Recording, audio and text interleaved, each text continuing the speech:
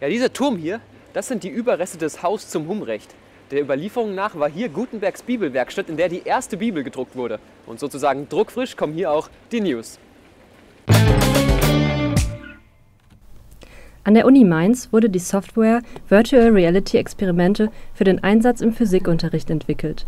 Sie simuliert physikalische Versuche in einer realitätsgetreuen und inhaltlich korrekten Darstellung.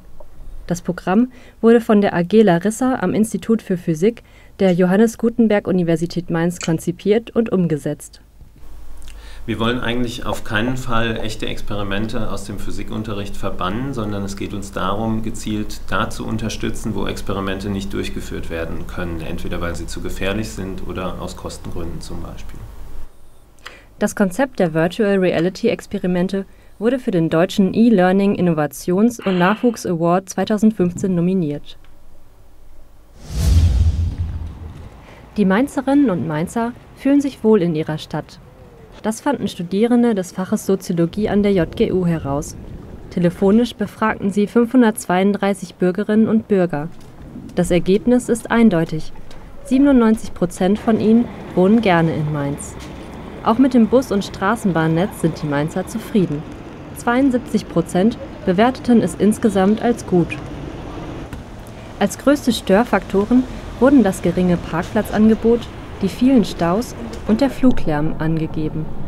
Doch die durchschnittliche Gesamtnote von 2,1 zeugt von einer allgemeinen Zufriedenheit der Mainzer mit ihrer Stadt. Was gehört zum perfekten Kinobesuch? Eine Tüte Popcorn? Ein bequemer Sessel? Ein Handy-Display? Ja, richtig gehört.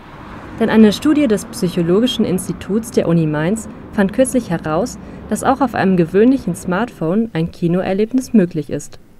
Um zu prüfen, wie wichtig die Leinwandgröße ist, fertigten Andreas Baranowski und sein Team kleine Kinosäle für Computer und Handybildschirme an.